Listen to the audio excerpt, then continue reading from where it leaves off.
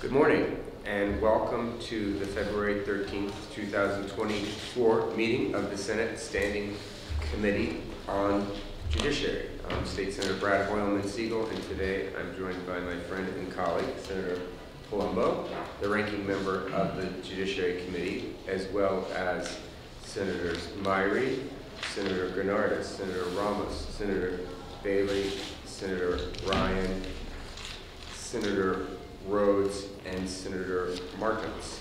Uh, we, as well as, uh, I said Senator Bailey, didn't I? You did.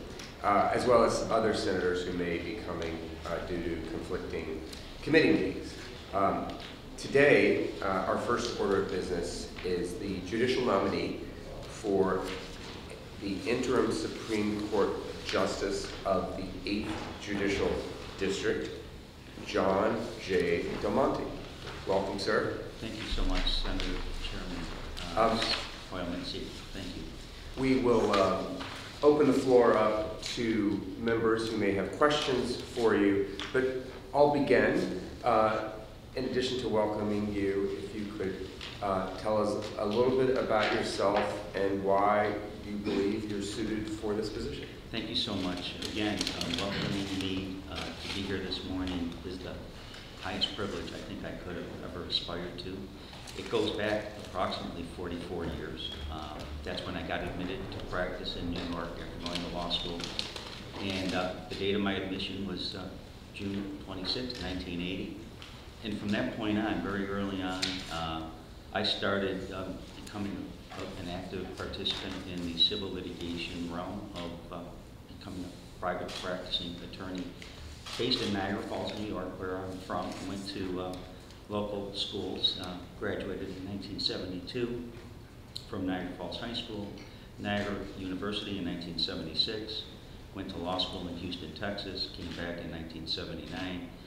The scope of my practice, though, from day one has been the engagement with people on a very personal level, where they recognized me as somebody that they could reach and have trust in to help them with just about anything that they needed to talk about in, within, the, within the realm of legal issues or, or concerns. So I felt very comfortable uh, from the beginning of my practice, just stepping up for and maybe being the, the person that others could count on to share and explore where they stood within the, the dynamics of becoming part of or potentially being cast in the role of having to deal with the legal system.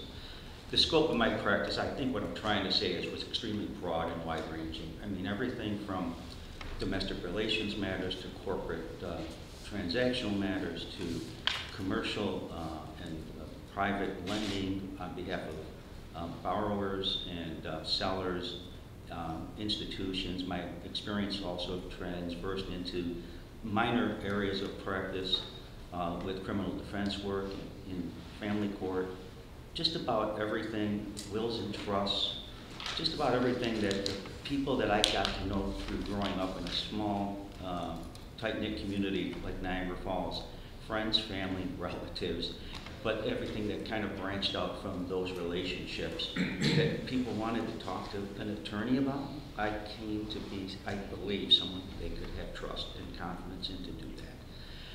Along the way, this is very relevant, I think, about this, this aspiration and why I'm so proud and privileged to be here right now with this proceeding. I walked into the special term courtrooms of Erie and Niagara County within probably a week or two after I got admitted at the end of June 1980. And at that time, I was just completely awed and impressed by what was occurring with the judges. Much more seasoned, experienced, considerably older than me at that point in time. Now I'm as old as all of them. But uh, what I what I walked out of those courtrooms at that stage of my career recognizing was there is an imprint that gets made on people's lives based upon the manner in which the rule of law is cast upon what they are contending with by way of argument or presentation on the part of their attorneys to be dealt with respectfully and to be felt like they had a chance to be heard. And what I left, or what was imprinted in my mind at that time was that if I could ever achieve or become part of the American system of justice that afforded me the opportunity to do what I could to eventually have my uh, small place in the world of uh, maybe being the equal of who I was seeing, giving me such an impression at that stage of my life, I'd be very, very proud. And uh, that's what I think I'm, I'm hopefully aspiring to accomplish with this. Well, thank you very much. I'm going to turn it over to Senator Ryan um, to kind of reiterate uh, some of your qualifications Yeah. and describe your background. I mean, it's so uh, great to see you here today, John. I, I've known uh, John and his family for well over uh, two decades, uh, so I'm proud uh, to see you here today. I know what you've done in the legal community, you know, in the best way possible. You're uh, a, a, a neighborhood lawyer. Yeah. Um, you know, you do you know real estate, you do commercial transaction, uh, divorces. People are having you know problems in their family. They they, they call their lawyers that, that they can trust, and you're viewed as a very trusted person uh, in the legal community. And I think those attributes are, are going to make you a, a very good judge. Um, you know, I'm an attorney myself. I've appeared in front of a lot of judges, but I found that the best judges are judges who are attorneys who had a broad base of clients. Uh, you know, no, nothing too specialized, uh, but once you have that broad base of clients, you realize that the people who come to you as attorneys, you know, it's often they're coming to you because their worst day they've ever had in their life, and they're coming to you to help with, with justice. And so I think the respect that you've showed your clients and legal community throughout the years, it's going to be reflected back when you're the person uh, on the dais uh, making uh, the decision. So I'm very proud uh, for you to appear in front of us today. And it's a great honor uh, you know, uh, your career to be here today. So much so for me, and thank you so much for those kind words, Senator. I appreciate it very much. Thank you. Um, Are there any questions uh, from members of the committee? Senator Bailey?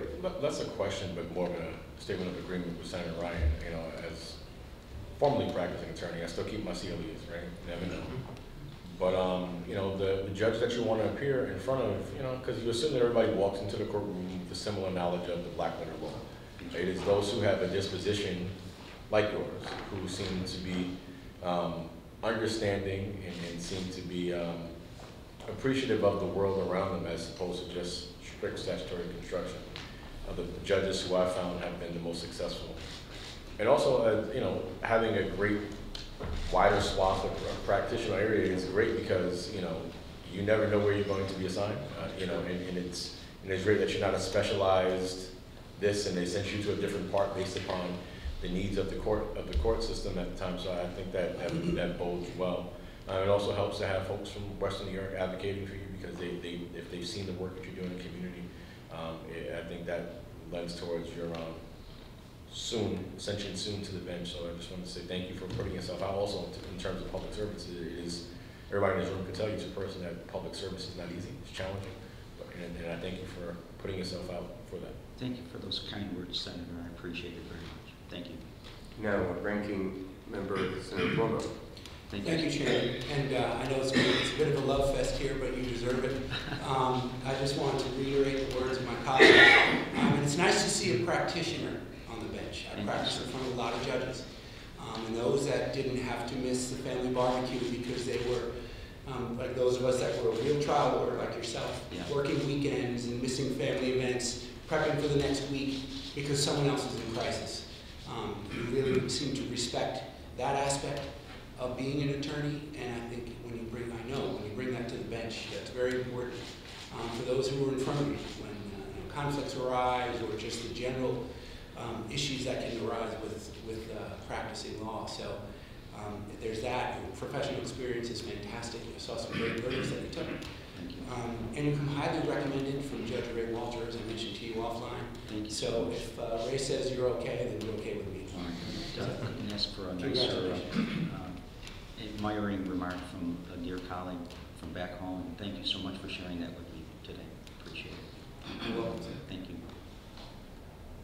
All right, any further questions or comments from members of the committee? Well, thank you, Mr. Del Monte. If you could excuse yourself, then we'll consider your number. Thank you all again for the opportunity, the privilege, and the pleasure of being here with you this morning, and for all the welcome and gracious um, our opportunity to just be in the company of so many wonderful people who have given me a chance to hopefully complete my career in this very, very distinct fashion. I thank you all very much. Thank you, sir. Thank you. Fantastic. Thank you.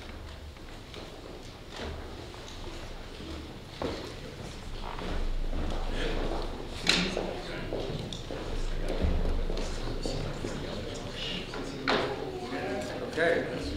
Um, Is there a motion to, to move the nomination of uh, uh, John J. Del Monte as a interim Supreme Court Justice of the Eighth Judicial District? Mr. Chairman, I'd be honored to make the nomination, nomination to move uh, John Del Monte to the floor for full consideration of the Senate. Is there a second?